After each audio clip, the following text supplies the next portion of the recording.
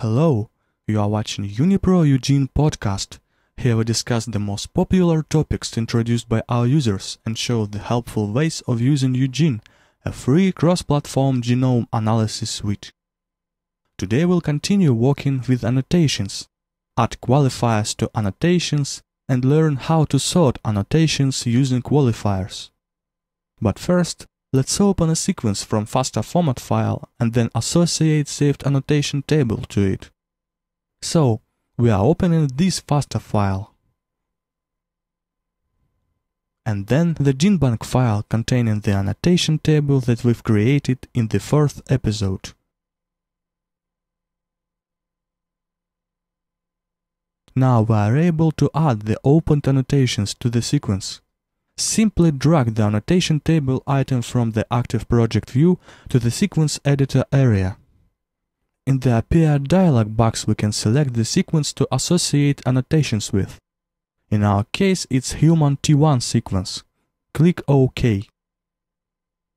Now we have highlighted annotation regions at the panoramic view and the open document at the annotation editor. Let's add a couple of new annotations press Ctrl N and specify an annotation of the current MIS feature group called MIS feature 2 and locate it within these coordinates.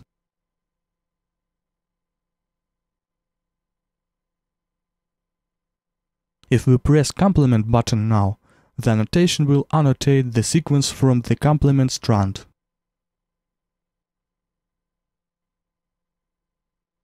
We press Ctrl N again and create an annotation of a new new group called MIS feature 3 and locate it here.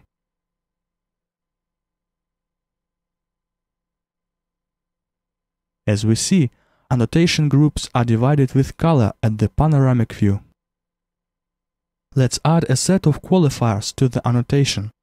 Qualifiers are the pairs of name-value strings. They provide general mechanism of supplying information about an annotation in UGENE. Select MIS feature annotation and then simply press Insert. Edit qualifier dialog box has appeared, where we can specify the qualifier name and its value.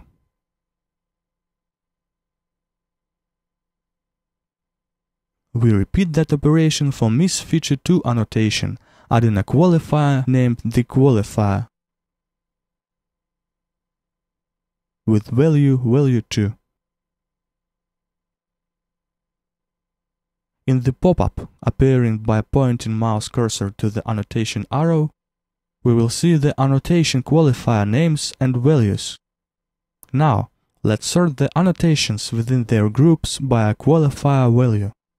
Right-click at the qualifier and then select Add the Qualifier column menu item. The appeared column contains values of the selected qualifier. The values are located opposite the annotations containing qualifiers with these values.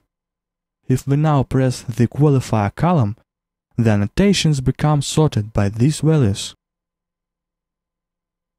Please note that UGENE automatically detects numerical values in qualifiers and sorts by them as numbers, but not as strings. That's all for today. Feel free to comment our videos and post requests to our forum.